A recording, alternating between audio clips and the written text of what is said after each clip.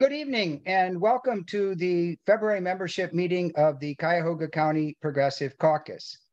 My name is Steve Holecko. I'm the political director of the organization. And uh, before we get to our main program, I'm going to do a little bit of housekeeping for those of you who haven't been to one of our meetings recently. First of all, um, we're going to stay with Zoom through the winter months um, for two reasons. One, we get out of town speakers more easily that way. And two, um, in case of bad weather, all you got to do is turn your computer on. Looks like we're having a mild winter, but you never know. Um, but in the spring, we are planning to get back to live meetings. Um, so I'm, I'm kind of looking forward to that because we haven't had um, many live events the last few years. For those of you that are, are new to our Zoom meetings, one of the things that we do is as opposed to putting a bunch of links in the chat, uh, we will send you an email tomorrow that has all the links that we're going to talk about during the meeting. Um, and, and that way you don't have to go back and forth on the chat, try to find the link. That can be cumbersome sometimes. But what's going to be in, included in that email um, is first of all a link to join the Cuyahoga County Progressive Caucus. We sometimes get folks at our meetings who aren't members. Um, membership is free. If you join uh, our organization, uh, you can vote on our endorsements. You'll start getting our emails. My guess is if you're not a member and you're here tonight and you saw the agenda, that you will probably like what you see in the emails. Another link is going to be to donate to the Cuyahoga County Progressive Caucus. Um, we are all volunteer funded, all volunteer staffed. And um, if you have a little bit of extra cash and can donate, uh, that would be greatly appreciated. Another link will be to the YouTube recording of this event. Um, we're going to send the email out to folks who either registered or or showed up. I guess if you showed up, you registered too. Um, but a lot of times people are interested in the event, they sign up, and then they can't make it and they watch us on YouTube. We actually have found that we've had more people click the YouTube recording of our events than actually show up, which is a good thing. Um, and then there, there will be a link to our March membership meeting. Um, and in a minute, I'm going to get to why that may not be the next time we meet. But our March membership meeting is uh, March 15th. Um, and the title of it is Browns Dome Stadium, who pays? Uh, you may have read somewhere or seen news reports that uh, Jimmy Haslam is floating the idea of a possible $2 billion dome stadium for Deshaun Watson to play in. And so we're going to take a deep dive into um, public funding for sports arenas. And we have a nationally renowned expert, Dr. Brad Humphreys from the University of West Virginia, uh, that's going to be with us uh, for that meeting. As I was just saying, like with Zoom, we can get out of town speakers a little bit more easier, but but we are going back to live um, in the spring.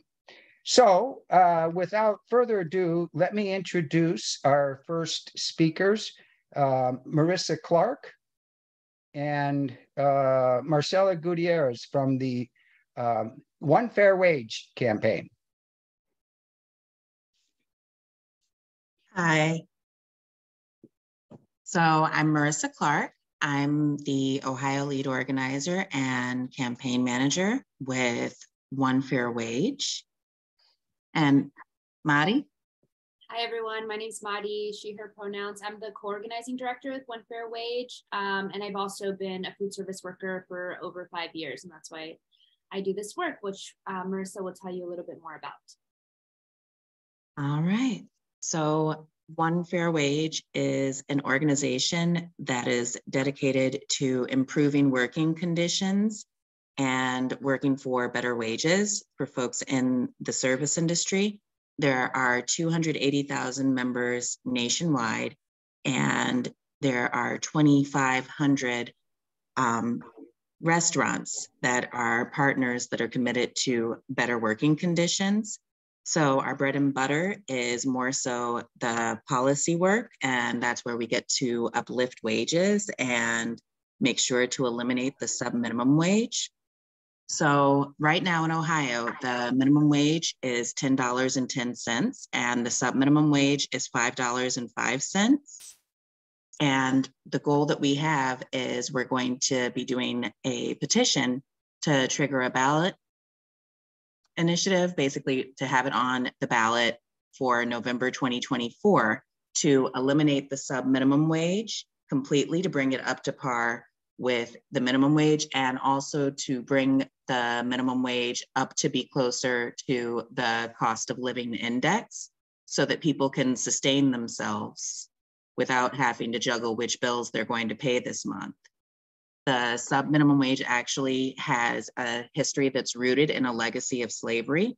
So, close to 160 years ago, when right around the time that the slaves were freed, restaurant owners were trying to figure out how to get away with continuing to not pay this newly freed workforce and created basically service sector sharecropping by deciding that instead of doing the tipping system the way that it had always been done, which was a wage with the tips on top, that they were going to give folks zero dollars as their wage and that they were completely reliant upon tips for survival. So, fast forward to the New Deal, and the sub minimum wage went up to 25 cents, which only applied to white Americans. And then uh, in the 90s, it then went up federally to $2.13 which is where it has basically been frozen in place at the federal level. And so in Ohio, we've had incremental change, but $5 really still isn't enough to do what needs to be done because people can't, it's very difficult to plan when you don't know what you're going to make.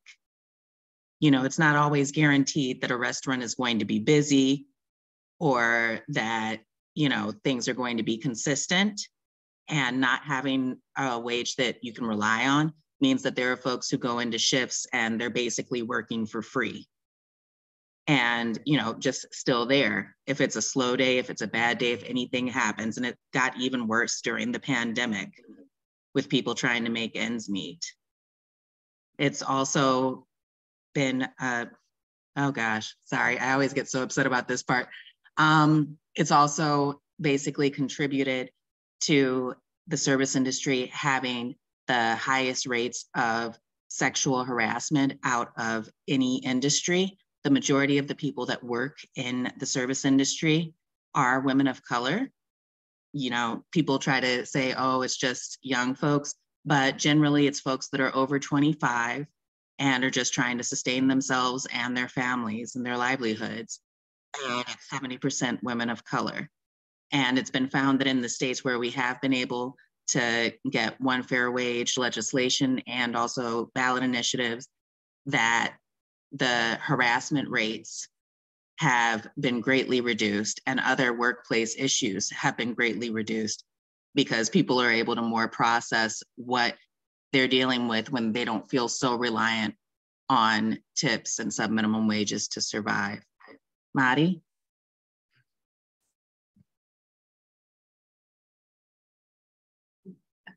Thanks, Marissa.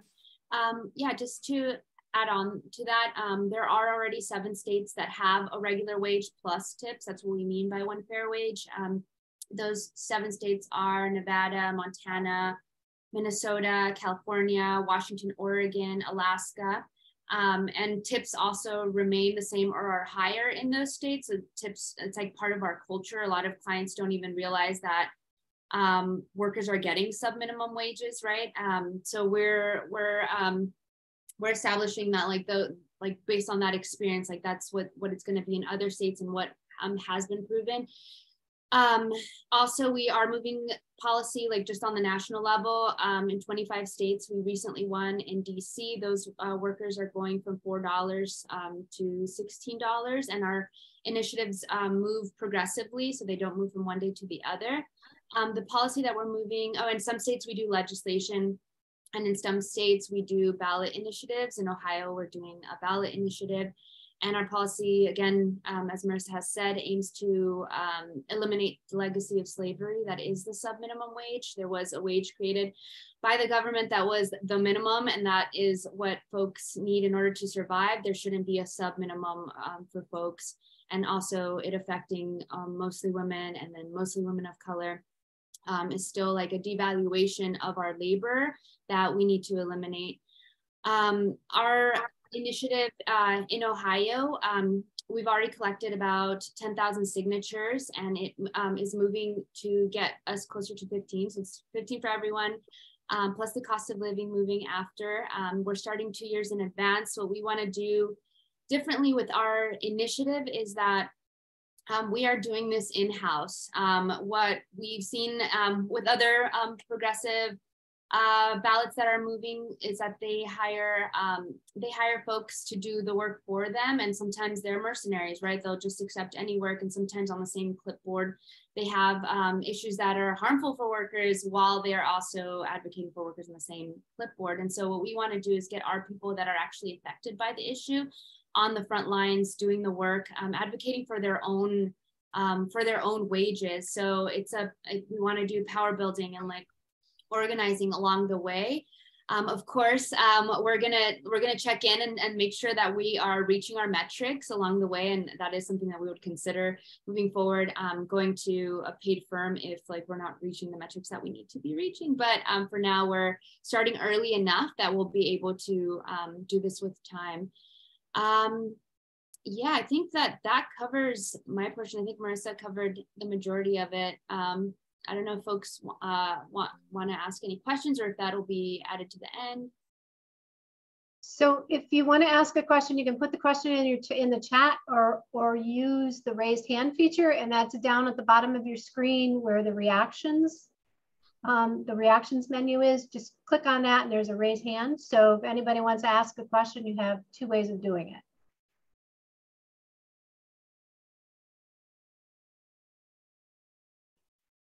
Go ahead, Will. Thanks. Um, thanks so much for the presentation. Really excited to uh, to hear about this. Um, I wanted to ask about a New York Times article that was published last month um, that was really disturbing, um, and I was, uh, you know, just wanted to see if you guys could could explain kind of what that what that was about and what the follow up has has been. That was just very eye opening about um, you know like a mandatory class that's funding the industry. It's just very strange and disturbing. So yeah. Thanks.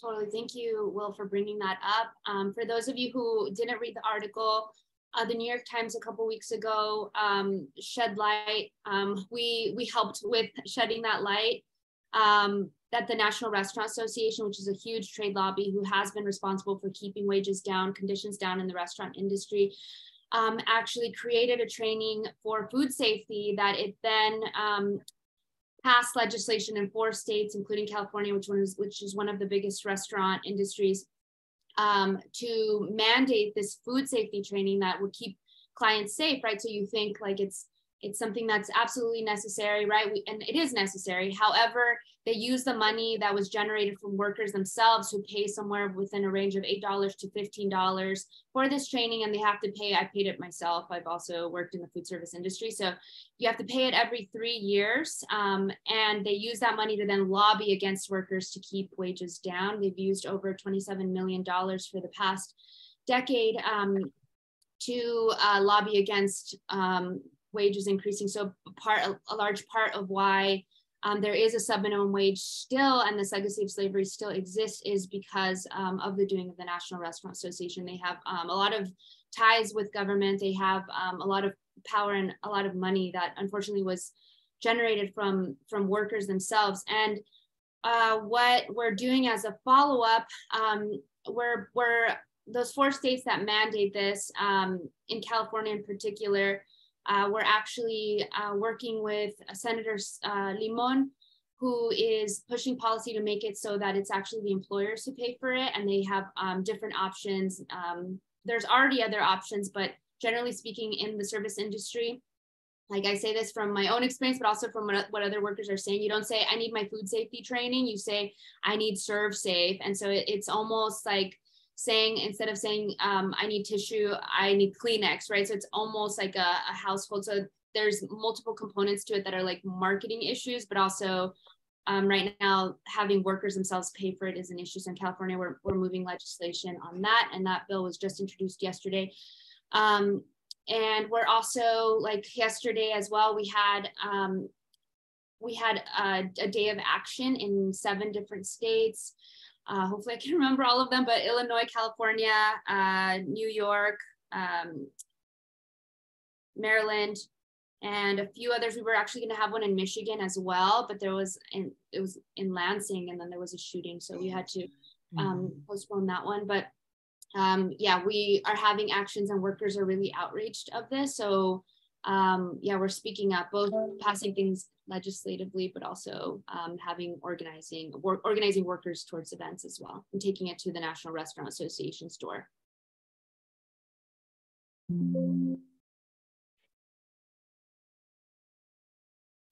Will has another question. It will be a constitutional amendment to the state constitution.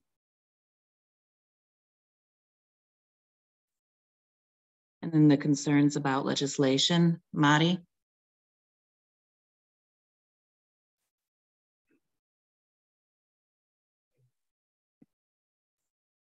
Madi, you have no. to unmute. Oh, sorry, yeah. Um, sorry, could you, could you, um, what is GA? The General Assembly. Oh, did the pass that would impact the outcome? I'm I'm not positive about that. Let me could I circle back and ask my team? But yeah, there yeah, I could ask um Sarah, who's our founder, and I'm sure that she's thought of this, but not something that I have thought of. I'm sorry. I can I can tell you from past experience, as long as it's a constitutional amendment, the legislature can't mess with it unless they go back to undo it through the same process. Okay.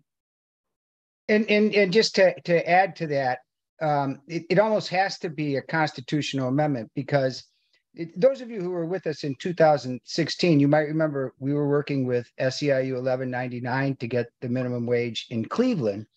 Um, but it, this was all set to go to be voted on by the citizens. Uh, then Cleveland City Council President Kevin Kelley talked to his Republican friends in Columbus, and they passed a state law saying that no municipality can set a minimum wage that d- different from what the state sets. So that kind of, I suppose you could do an initiative, a, a, a referendum, and, and, repeal that legislate, le- legislation, but then they would just pass it again. So it, it, it has to be a constitutional amendment. Thank you, Steve and Deb, for that insight. Yes, thank you. Also, Andrew um, was bringing things just up front of, of what um, his experience was in the restaurant industry. I'd love to connect with you, Andrew, if possible. So if you can pass me your contact info.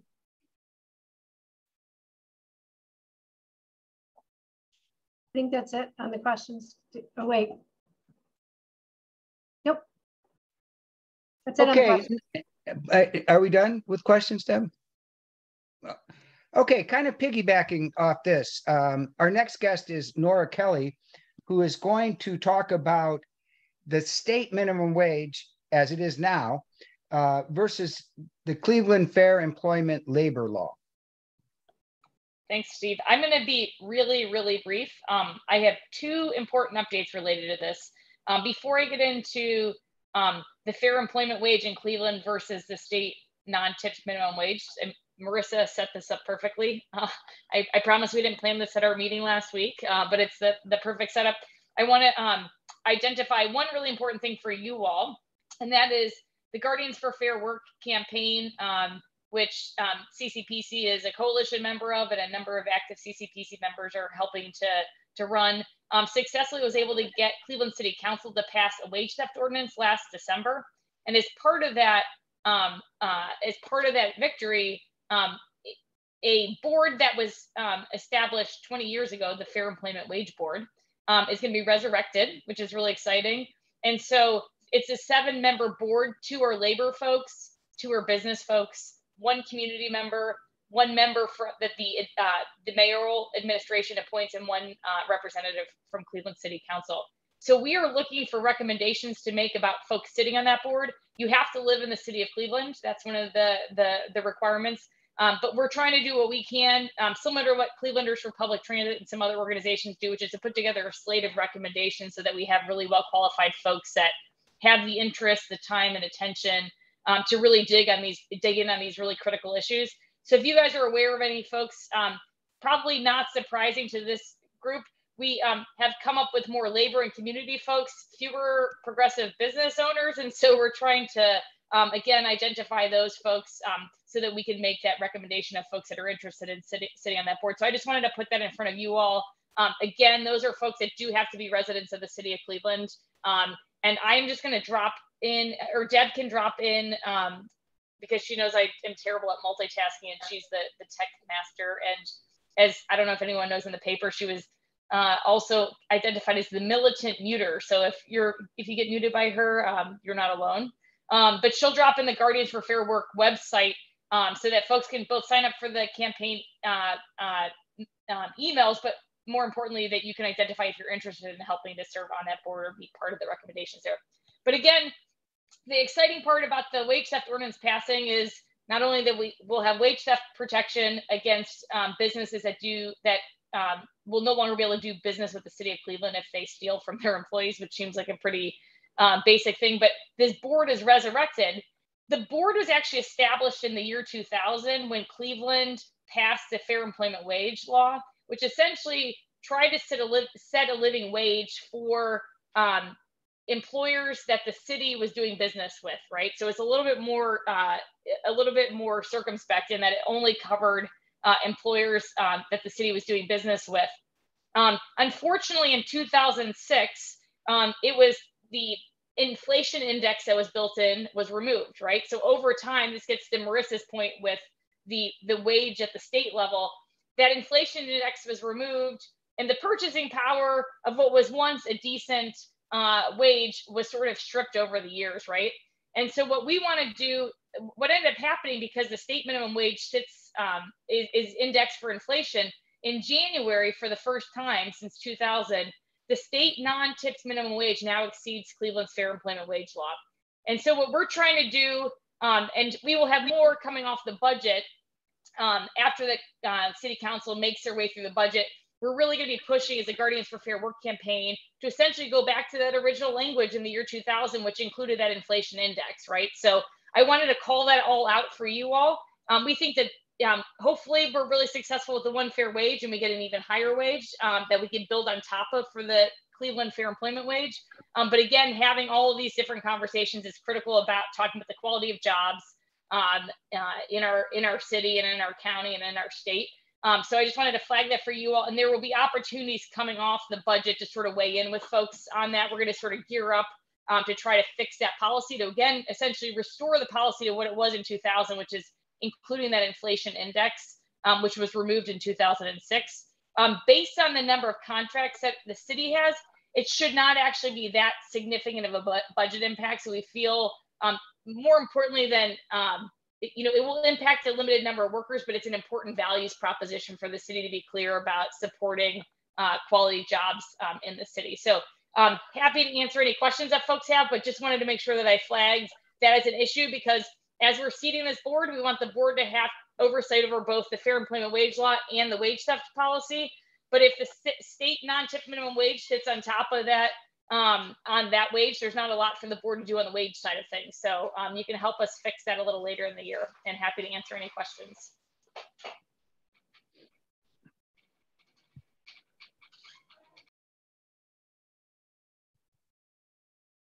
Anything in the chat, Deb? Nope. Other questions? Okay, um, next segment, um, some updates on other constitutional amendments.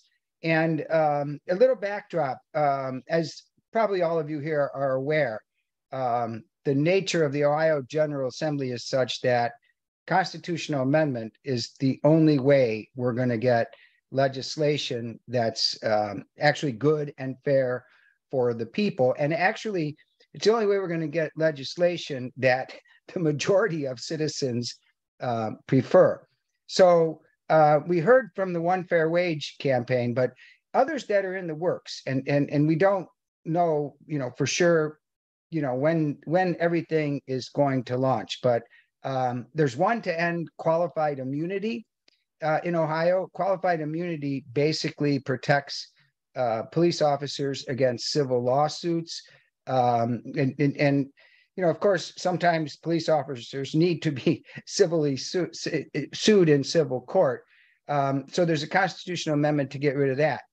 Um, you may have read there's a constitutional amendment that uh, former Supreme Court Justice Maureen O'Connor supports um, to end gerrymandering by making it so that an independent commission uh, draws the maps as opposed to you know the very partisan uh, commission that you know we saw draw gerrymandered maps uh, last few years.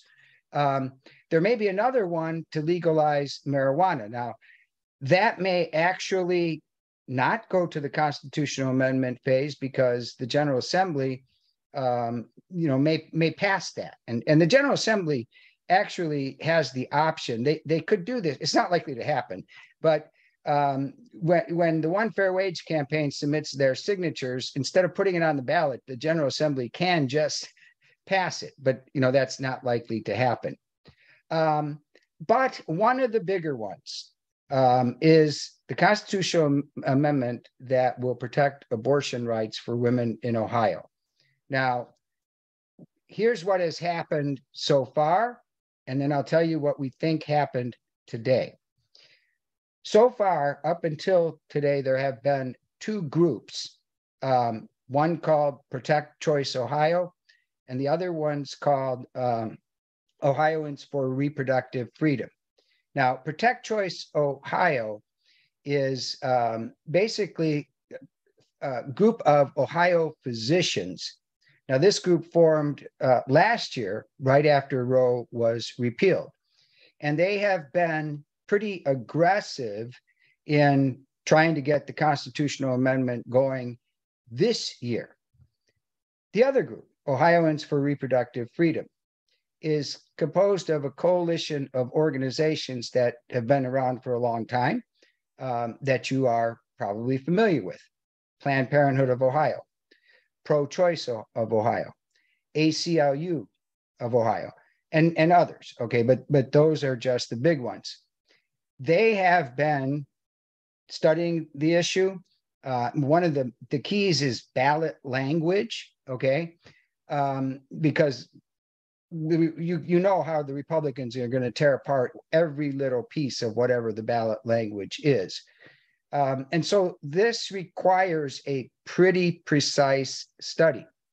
And Ohioans for Reproductive Freedom, for a long time, weren't ready to commit to getting a constitutional amendment on the ballot in, in this year in 2023. Those of you in the activist community know that it would be a disaster to have two separate constitutional amendments. That this has to be a combined effort, and it, even with a combined effort uh, with common messaging and everybody on the same page, it's going to be very, very difficult. But here's the good news and we were on the phone on and off all day with our, our trusted sources in both organizations. They are very, very close to an agreement to work together this year to get a constitutional amendment passed this year. Um, we actually thought that they were working on a press release. Well, we know they were working on a press release that it was going to go out late this afternoon and we could announce the combined effort at this meeting. But when we say they're very, very close, and when we say this is likely to happen, this is from trusted sources. But we're not going to say it's going to happen until it happens. Um, until we see that press release that there's going to be a combined effort for a constitutional amendment this year. We are hopeful that press release comes early tomorrow or sometime tomorrow. If it comes early tomorrow, it'll be at the top of CCPC news and events. Um, if it comes later tomorrow, the, we'll, we'll get you a separate email because what we have heard is um, they've agreed on the language. And, and again, this is what we've heard. Okay, so in, until we see the press release, nothing is definite. But we've heard that they've agreed on the language, that they are going to print petitions tomorrow, and that they're going to begin the signature gathering process this weekend. Now, the way it works, and this works for all constitutional amendments, you have to get a thousand initial signatures before you submit the ballot language to Frank LaRose um, for approval. And so, you know, time is of the essence because to get the amendment on the ballot in November, 400,000 valid signatures have to be submitted by the first week in July. Now, to submit 400,000 valid signatures, you probably need 800,000 to a million because a high number of signatures gathered are invalid. So if you think of that, well, let's get 800,000 to a million signatures in March, April, May, and June. Huge effort. And what we understand is they're going to rely heavily on volunteers. And, um, you know, I, I don't think this is a hard sell for anybody in the Progressive Caucus. Heavily on volunteers, but also on paid, um, paid signature gatherers. Um, we, we like like I said, this is not definite, but it is probably a 99% certainty. Um, I mentioned our March meeting um, on March 15th on, on the Browns Dome Stadium. If this gets all connected like we expect it to, um, we're going to do a special meeting uh, probably the first weekend in March because this is so important. Um, by then, you know, we'll have the plan on gathering signatures. Um, we do plan to work very closely with the Cuyahoga County Democratic Party because we now have friends in high places there. Um, we know they're going to be aggressive. So, like I said, um, it, it, expect an email the next few days on this. Um, and then, like I said, we're going to have a special meeting on this early in March once it gets all connected. Questions?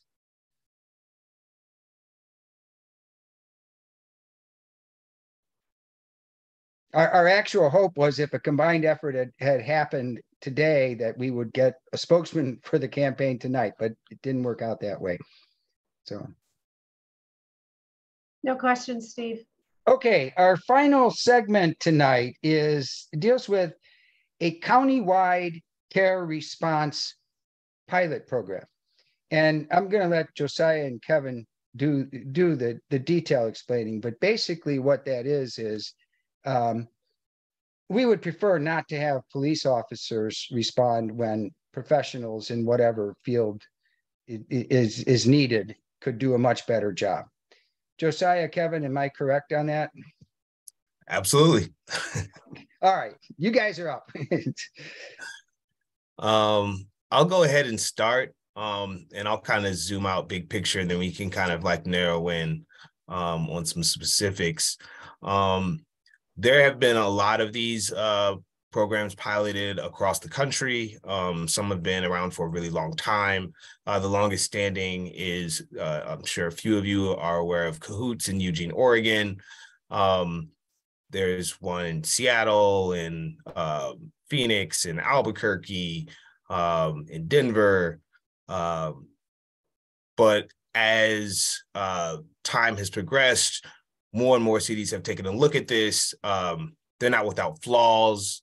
Uh, the the one in New York has come under fire recently for kind of cherry picking cases, and um, there's a, a, lot of times there's there's different tensions, right? There's a lot of large voices at at work, um, but we've also seen uh, more recently cities that reflect uh, more closely to the demographics and the kind of city that Cleveland is. Um, so Baltimore has recently um, got their program off the ground, and then even within the state, uh, Cincinnati started um, a little over six months ago with a really impressive program. Uh, Dayton has been running a smaller scope program, and Columbus has been running kind of like a hodgepodge of things that it seems like now are going to be consolidated with some some recent developments there. Um, so we're likely to get a lot of data um, in the next six months that could be really really helpful.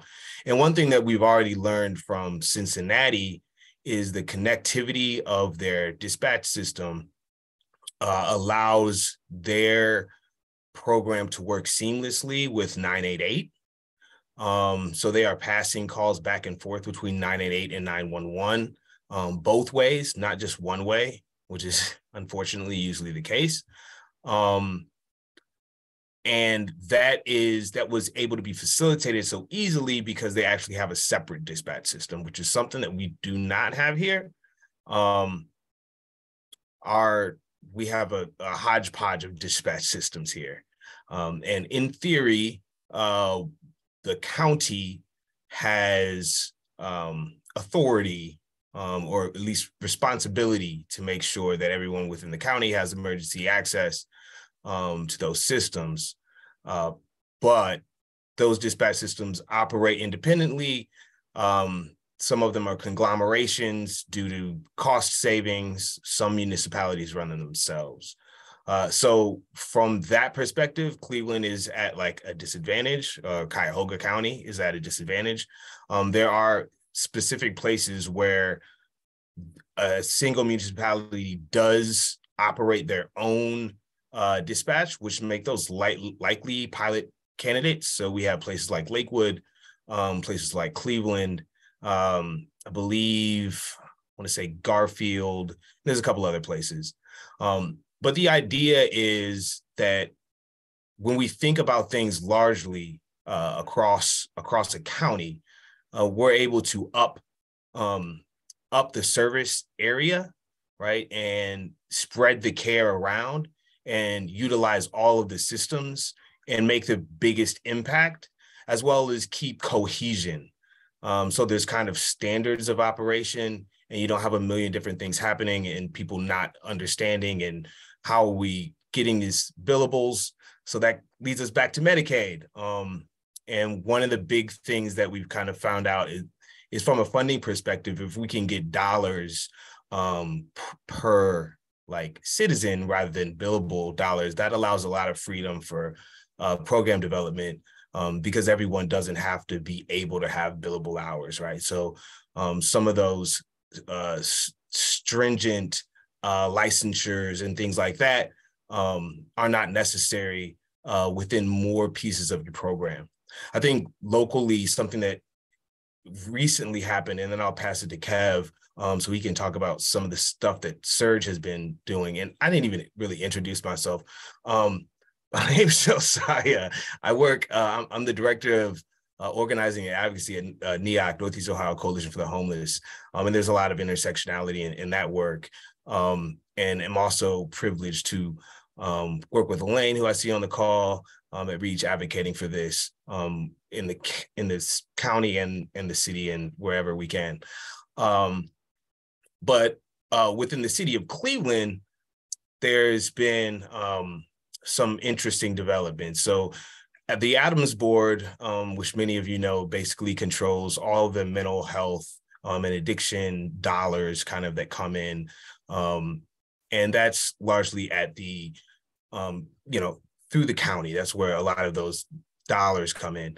Um, but a lot of the infrastructures are within the city and so the city has recently um, said that they wanted to pursue this. They attached it onto a uh, amendment, um, a lot allocating some ARPA dollars. Um, and originally it was just co-response, but they kind of tagged in some language um, that enabled the the door to be cracked for care response. So that's interesting. And um, the public health department had uh, Dave Margolius and uh, as well as Sonya Pryor-Jones within the city has shown some interest in this.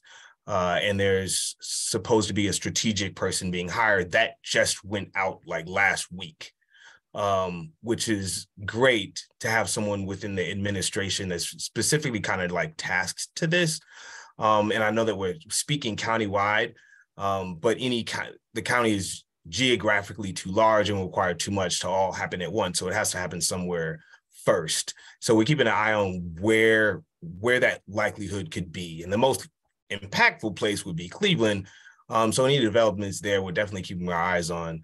Um, and the the mayor did just come out the other day and and really stress about how uh, much of a challenge it has been to be hiring police officers. And they're they're trying to do everything with recruitment videos and enticing people with pay and they're just bleeding officers. And um, the language i had not heard the kind of language that i i heard specifically um, connecting the dots of like hey we should try to um, spend some money in some different places and uh, i thought that was really encouraging um, you know baby steps but um, i think those things are all really interesting from kind of like a top down level moving uh, nationwide to really specifically to Cleveland. And I'll pass over um, to Kev so we can talk about some of the stuff that uh, SURJ has been doing um, with their canvassing.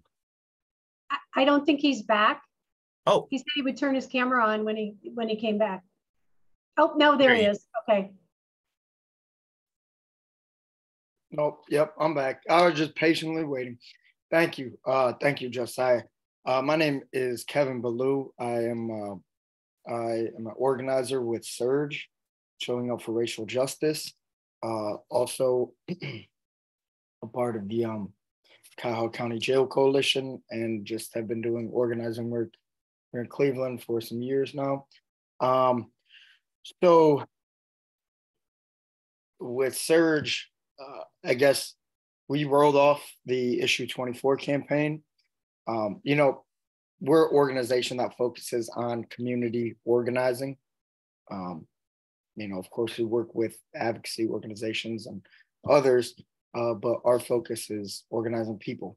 Um, and rolling off the issue 24 campaign, you know, we jumped into the Reach Coalition for care response, for a care response model. Uh, and with that, you know, we have been doing canvassing work in Old Brooklyn uh, over the summertime. We were door knocking. We uh, and we've been doing a lot of signature collection uh, as well. Um, and we have maybe around 600 signatures. Uh, we also have a online petition. Um, if any of you would like to sign and just circulate that, you know, our thing is making sure um, is building people power. And, um, we, uh, yeah, so we've been we've been focused a lot on that. One thing that we did just create is a template, also, um, a letter that we've been sending to city council members. So for those of you that do live in the city of Cleveland, I will happily send you that uh, template if you would like to send that to your city council person, um, advocating for a care response you know, and, and as Josiah mentioned, you know, uh, we have studied this and studied uh, the cahoots model that they have in Oregon um, and studied uh, different models they've done in Durham, North Carolina, um, and Albuquerque, New Mexico. And, you know, goes to show that a full care response model um, just does much better even than a co-response model. Um, you know, and that will give more time for and, and an open space for the police to do uh, more police work ending violent crimes. You know, uh, so instead of uh, wasting energy and resources on you know thing on mental health issues on people struggling with addiction you know where we can have a um, mental health professional or somebody trained in de-escalation tactics handle those issues. Um, so that is, you know, we've just been trying to still bring people into uh, the, care response um, model into into fully understanding that and why it would be better as a city to implement. Um, so if you would like to sign the petition or, um, you know, send that letter to your city council person in Cleveland, please let me know and I can send that over. Um, and thank you. I, I guess I'll pass it. Uh, if I didn't cover anything, Josiah, feel free to cover something, but um, yeah, that's what we at SURJ have been focused on. Yeah, so I mean, I think um, you kind of forget to mention, yeah, you kind of forget to got to mention the whole Ronayne Town Hall, which was so awesomely uh, helped to be set up by um, SURJ, uh, which took place in one of the newer PSH buildings over on the west side. Um, and that was awesome. Uh, they they unveiled this giant like um, scroll that had all the names that they had collected signatures. Um, and Ronayne um, committed to attempt to roll out a care response model.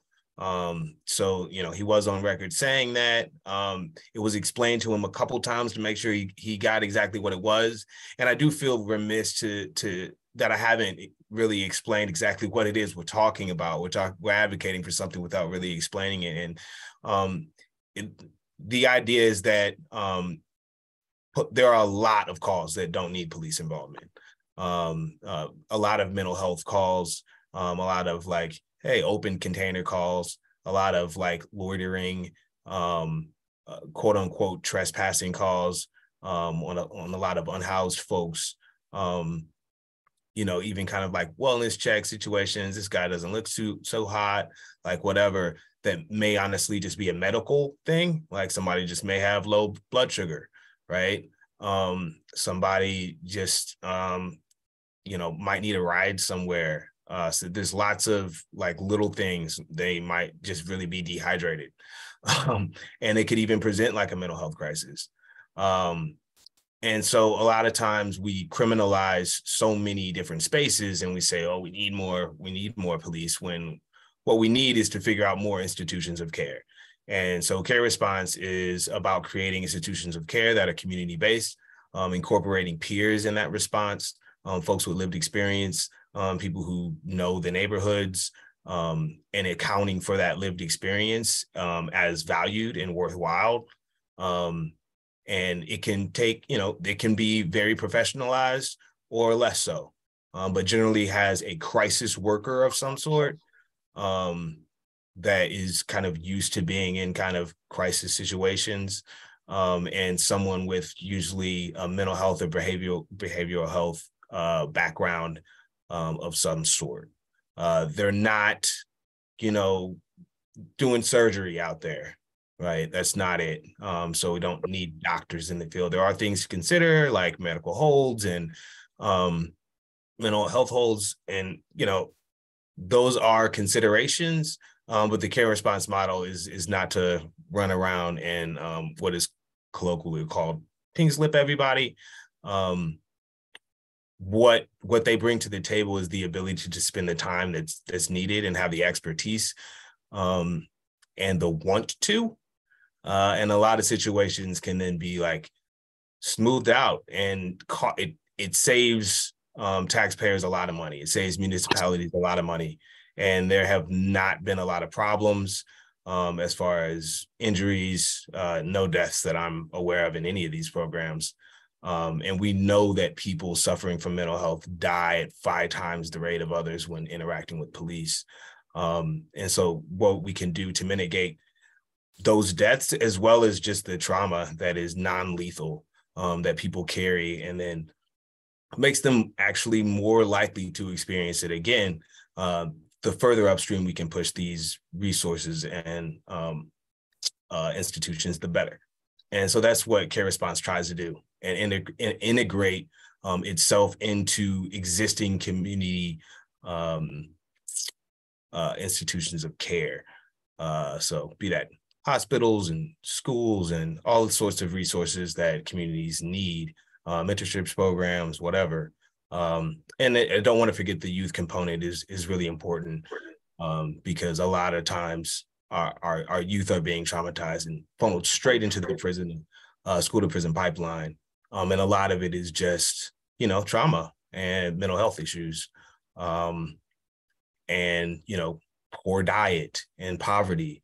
Um, And so to meet to meet that with um, with care rather than handcuffs and sirens and guns and badges um, is something that is just a really powerful way to look at the at the issues in front of us. And so that's why we think care response is so important. And I'll stop talking and leave time for questions.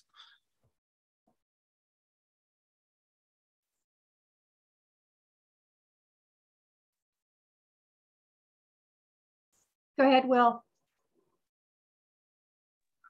Thanks, Josiah. Um, and it's good to uh, to see you. I'm sorry, I'm eating dinner, so that's why my video is off.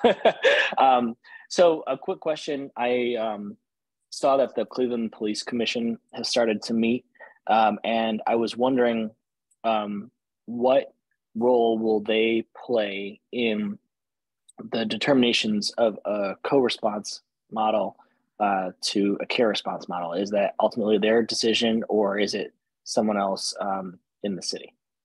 Thanks.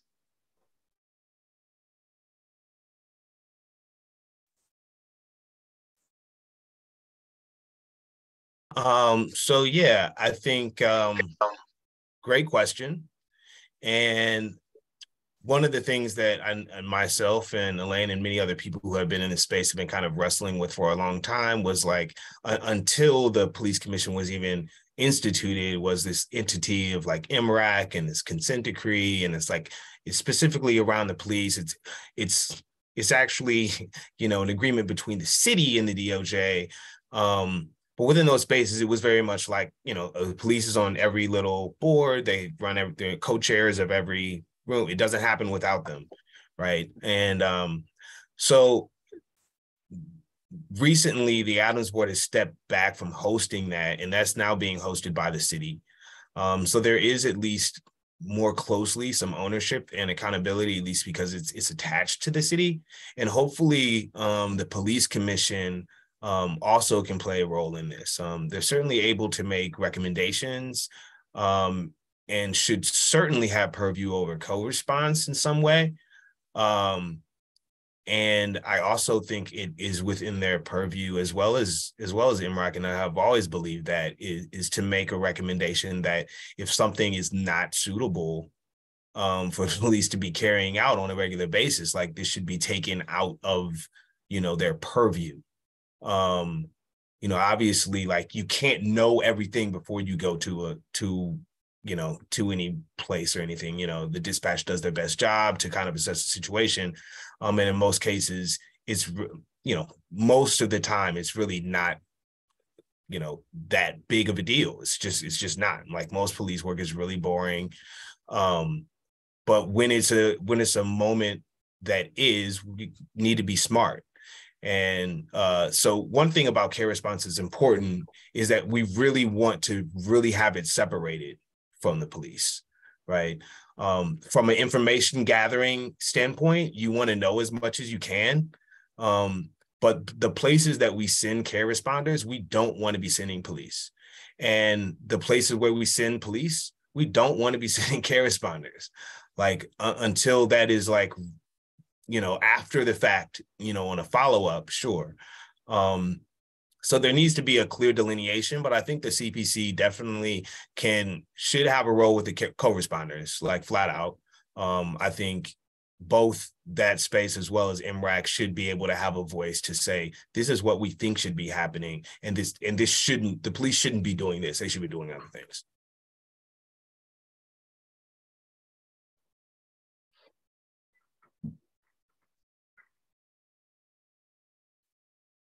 Go ahead, Nina, but you have to unmute.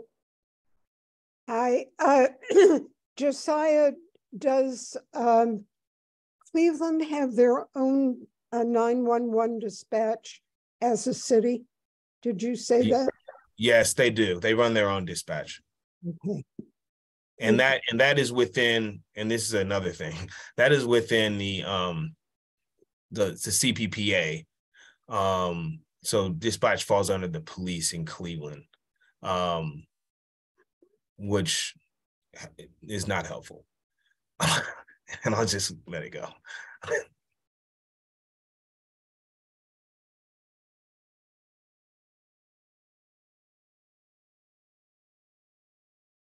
Any other questions? I don't see any, Steve. Well, oh, I, I, I, wanted to say um, for for uh, Kevin's uh, letter thing, you know, I wouldn't discourage people from sending it to your um, city council, even if you don't live in, in Cleveland. I'm sure you can change the wording around just touch and let them know that they should have care response there too. Um, so I know I know some folks worked on uh, on a shaker campaign um, with me, and we we still got some we still got some work to do over there, um, and that's been very apparent. But um, yeah, don't you know? As long as you live in the county, I guess. If you live outside the county, then I don't know. You can do it just to have fun, but I don't know how helpful that is.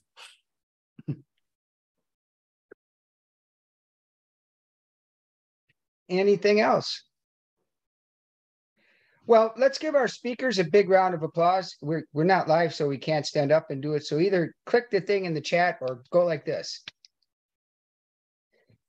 And um, thank you all for coming. Um, and like I said, stay tuned um, to our emails about the uh, constitutional amendment to protect a woman's right to choose. And um, we will see you all soon and hopefully soon live. Good night.